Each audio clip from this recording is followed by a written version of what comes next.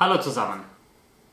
Wenn ich einen Fotoworkshop starte, dann frage ich die Teilnehmer ziemlich am Anfang einmal, was sie sich erhoffen ähm, mitzunehmen von diesem Workshop oder was das ist, was sie, sich am, was sie am meisten lernen möchten. Und nicht selten kommt dann die Antwort, ich möchte schärfere Tierbilder hinkriegen. Irgendwie passt das bei mir nicht. Und darum geht es in diesem Video. Die acht in meinen Augen wichtigsten Tipps für schärfere Vogelfotos.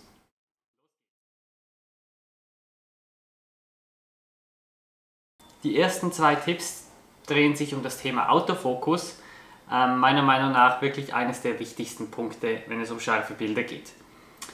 Das erste, das ich häufig sehe, dass einige ähm, Leute falsch machen, ist den Single Shot Autofokus statt den Nachführautofokus einzustellen.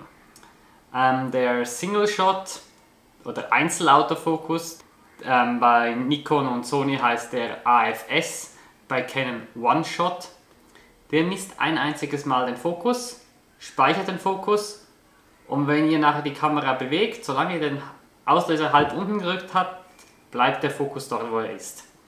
Das ist bei Tieren allerdings ein Problem, denn je nachdem fokussiert ihr auf das Tier und das Tier bewegt sich. Und viele sagen dann, ja, ja, für Safari, wenn ich einen rennenden Gepard habe, dann weiß ich schon, dass ich den anderen Autofokus, den Nachführautofokus einschalten sollte. Aber häufig sieht man gar nicht, dass das Tier sich bewegt. Es genügt, dass ein Vogel den Kopf ein wenig nach vorne oder nach hinten bewegt oder nur schon leicht zur Seite dreht. Wenn ihr mit 4, 5, 600 mm oder noch mehr mit so viel Brennweite unterwegs seid, ist die Schärfentiefe so klein, dass kleine Bewegungen bereits reichen und das Tier ist nicht mehr in der Schärfenebene. Deshalb schaltet immer den Nachführ-Autofokus, also entweder AFC oder AI Servo, je nachdem bei welchem Kamerasystem ihr seid, ein. So, nun habt ihr eingestellt, wie die Kamera den Autofokus misst, nämlich kontinuierlich. Und jetzt müsst ihr noch entscheiden, wo die Kamera den Autofokus messen soll. Standardmäßig ist es nämlich bei den meisten Kameras so, dass alle der über das Bild verteilten Autofokuspunkte aktiv sind und die Kamera entscheidet dann ähm, entweder das nahegelegenste Objekt oder das, das den meisten Kontrast auf, ähm, aufweist, auf das wird dann scharf gestellt. Und das ist nicht zwingend immer das, worauf ihr scharf gestellt haben möchtet. Denn ein grauer Vogel hat nun mal weniger Kontrast als, als je nachdem der Hintergrund. Oder was ist, wenn ihr so ähm, einige Blätter im Vordergrund habt, die ihr gerne und ihr möchtet, dass diese das Bild vernebeln und hinten dran sollte man den Vogel oder was für ein Tier auch immer sehen und die Kamera stellt jetzt aber auf die Blätter scharf. Das ist nicht das, was, was ihr haben möchtet. Ihr müsst der Kamera also diktieren, wo sie scharf stellen soll. Und ihr könnt bei jeder Kamera ähm, von, diesem, von dieser automatischen Autofokus-Auswahl wechseln auf eine Einzelfeldmessung. Und da könnt ihr entweder dieses einzelne Feld nehmen oder sogar noch ein Spotfeld, das noch kleiner ist. Und dann immer versuchen, dieses Feld genau so gut wie es geht auf, das, auf den Kopf des Tieres oder noch besser auf das Auge des Tieres zu legen. Die meisten Kameras haben einen Joystick, mit dem ihr diesen, dieses Autofokusfeld verschieben könnt. Bei gewissen Kameras geht das auch mit dem Touchscreen. Ich habe lieber den Joystick, da ich dann durch den Sucher schauen kann und gleichzeitig die, ähm, das Feld bewegen. Dies funktioniert ganz gut, wenn ihr einen Vogel habt, der auf dem Ast sitzt, der vielleicht am Boden lang läuft oder eine Ente, die über den Teich schwimmt. Aber wenn ihr Tiere habt, die sich schneller bewegen, einen Vogel im Flug, ähm, zwei kämpfende Steinböcke und so weiter, dann ist es manchmal schwierig, dieses winzig kleine Autofokusfeld die ganze Zeit auf dem Auge des Tieres zu behalten.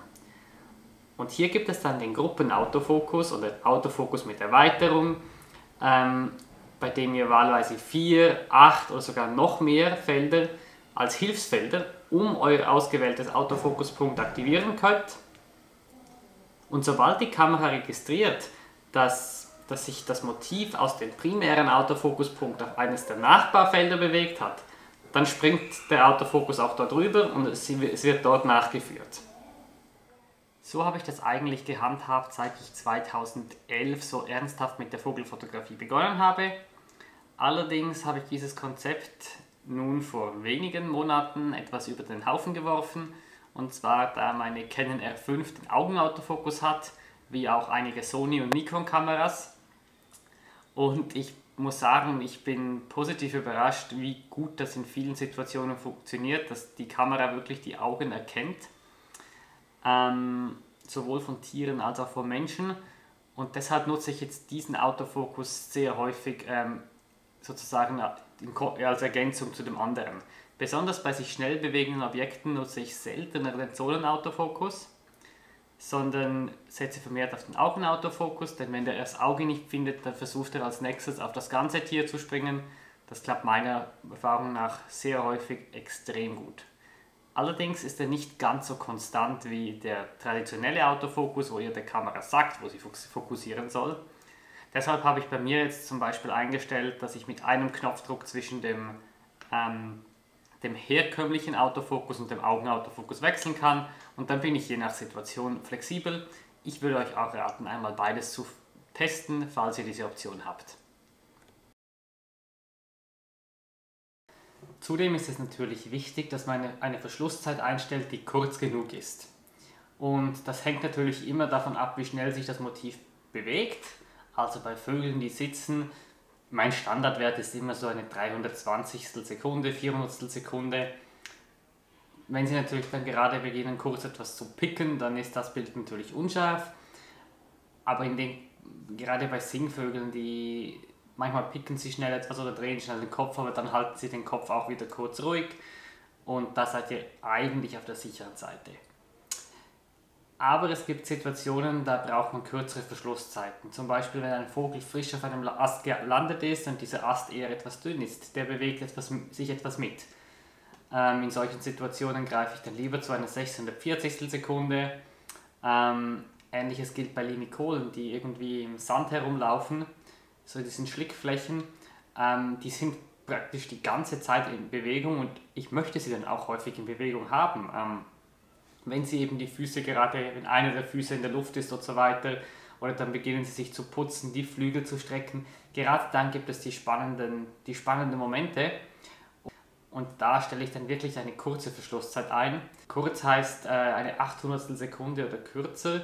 Wenn es das Licht erlaubt, gehe ich da lieber auf eine 1250 oder 1600 Sekunde. Und dann schließlich, wenn ihr Vögel habt, die fliegen. Ähm, ich habe früher ein bisschen den Fehler gemacht, dass ich dachte, ja, ja, eine 1250, das passt. Ja, es kann passen, aber häufig dann eben doch nicht und dann ist ein Teil des Fotos doch wieder unscharf. Und ich bin daher dazu übergegangen, lieber mit dem ISO etwas höher zu gehen, ein bisschen Bildrauschen zu haben. Ich meine, das wird äh, mit jeder Kamera immer weniger und ich habe hier auch noch ein Video, ähm, wie ihr mit Bildrauschen umgehen könnt oder wie ich zumindest mit Bildrauschen digital nachher umgehe. Und lange Rede, kurzer Sinn, für fliegende Vögel nehme ich in der Regel eine 2000 Sekunde.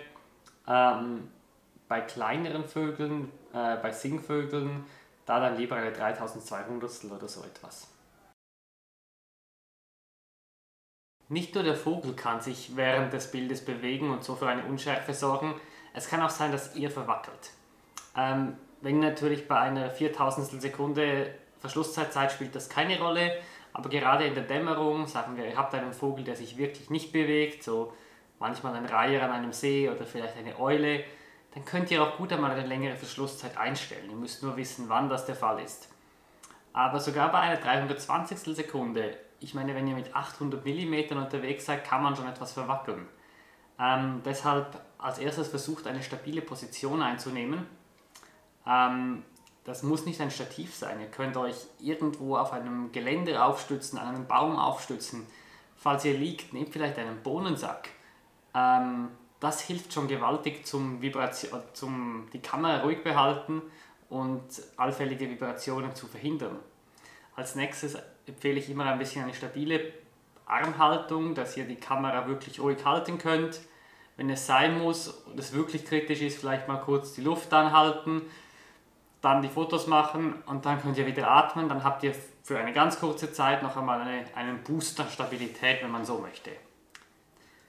Die stabile Aufnahmeposition hilft zudem auch, dass der Autofokus viel treffsicherer ist. Wenn ihr hier so ein kleines Feld habt, das auf dem Auge des Vogels ist und ihr wackelt mit der Kamera hoch und runter, dann ist das äh, Feld nicht sehr lange auf dem Auge des Vogels. Es wird, äh, je nachdem, irgendwann wird der Autofokus auf den Hintergrund fokussieren, weil ihr euch wegbewegt habt Und selbst bei Kameras, die mit dem Augenautofokus arbeiten, klappt es besser, wenn ihr die Kamera ruhig hält.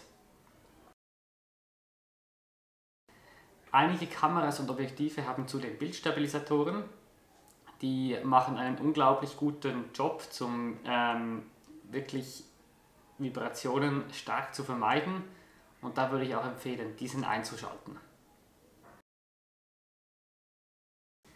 In der Tierfotografie kann sehr viel schiefgehen. Ähm, der Autofokus kann einmal nicht treffen. Wie gesagt, der Vogel kann sich bewegen und das Bild wird unscharf. Vielleicht verwackelt ihr im entscheidenden Moment. Das sind sehr viele potenzielle Fehlerquellen. Und deshalb würde ich euch empfehlen, immer mehrere Bilder zu machen. Ich habe bei mir immer das Serienbild aktiviert und ich mache auch immer mehrere Fotos. Und wenn es ein Reiher ist, der am gleichen Ort steht und sich seit 10 Minuten nicht bewegt hat, ich mache mindestens 3-4 Fotos. Wenn ich nach Hause komme und alles entschärft, dann bin ich froh, aber es kann auch immer eben. Ich kann einmal verwackeln, der Autofokus kann einmal nicht treffen. Und wenn ich unscharfe Bilder habe, rege ich mich nachher nur auf und aussortiert sind sie ja schlussendlich sehr schnell. Große, lange Telebrennweiten erlauben es uns eigentlich, die Tiere auch aus größerer ähm, Entfernung formatfüllend abzubilden. Das ist super, denn die Tiere haben gerade bei uns in Mitteleuropa häufig eine größere Fluchtdistanz. Durch diese große Distanz zwischen euch und eurem Motiv habt ihr auch automatisch sehr viel Luft dazwischen und diese Luft, die kann auch für Unschärfe sorgen, nämlich auf verschiedene Weisen. Einerseits, wenn ihr Hitzeflimmern habt, Habt ihr vielleicht auch schon bemerkt, ein typisches Phänomen ist, dass dann keines eurer Bilder wirklich scharf aussieht. Ihr wisst nicht wieso, es ist irgendwie nichts im Bild scharf. Es sieht vielleicht ein bisschen so aus, als ob der Autofokus nicht getroffen hätte, aber es ist schwierig einzuschätzen. Ähm, dann könnt ihr natürlich Dunst haben, ihr könnt Staub ein wenig in der Luft haben, wenn es ein wenig diesig ist. Äh, wenn, oder noch extremer während im Nebel, der nimmt auch die Kontraste und die Schärfe weg. Ähm, das heißt, wenn ihr könnt, versucht die Distanz zu den Tieren ähm, zu reduzieren. Das soll jetzt nicht heißen, dass ihr einfach den Tieren hinterherrennen und sie verscheuchen sollt, aber wenn ihr merkt, die Fotos sind nicht scharf, überlegt euch mal gut, ich fotografiere einen Steinbock auf 150 Meter Distanz, ist es vielleicht möglich, dass hier einfach zu viel Luft dazwischen ist muss ich vielleicht versuchen, näher ranzugehen oder vielleicht etwas anderes machen? Ich meine, vielleicht kann man eine Habitataufnahme mit einer kürzeren Brennweite machen. Der letzte Punkt, den ich noch erwähnen möchte, ist, dass ähm, nicht alle Objektive bei Offenblende die beste Leistung bringen. Bei dieser Offenblende kriegt man zwar viel Licht auf den Sensor, man kriegt einen sehr unscharfen Hintergrund, aber gerade Zoom-Objektive äh, werden erst häufig erst dann richtig, richtig scharf, wenn man sie etwas abblendet. Ähm, ein typisches Beispiel für mich ist hier das 150 bis 600er von Sigma oder Tamron. Das sind ohne Frage Spitzenobjektive, sie sind relativ leicht, relativ kostengünstig. Sie kommen halt mit dem ganz kleinen Nachteil, dass sie bei der Offenblende noch nicht die optimale Leistung bringen. Das heißt, konkret für euch, wenn der Hintergrund eh sehr weit entfernt und deshalb gut aufgelöst ist, und wenn ihr auch mehr oder weniger ausreichend Licht habt, dann blendet vielleicht von dieser Offenblende 6.3 etwas ab auf Blende 7.1 oder noch besser 8 und ihr werdet sehen, dass, dass die Qualität noch einmal gewinnt. Das gleiche gilt für die Supertele, der nicht der neuesten Generation, sondern der etwas älteren Generationen, zum Beispiel bei Canon der Generation 1, also die um 1999 produzierten Objektive, da habe ich doch einen deutlichen Unterschied gemerkt, wenn ich mit Konverter fotografiert habe, ob ich äh, bei Offenblende fotografiert habe oder ein klein bisschen ab, abgeblendet habe. Ich hoffe, diese paar Tipps ähm, werden euch in Zukunft helfen, dass ihr noch schärfere Vogelfotos erreicht und noch zufriedener mit euren Fotos seid. Falls euch das Video gefallen hat, lasst doch bitte ein Like da, abonniert den Kanal und dann wünsche ich euch viel Spaß beim Fotografieren. Ciao!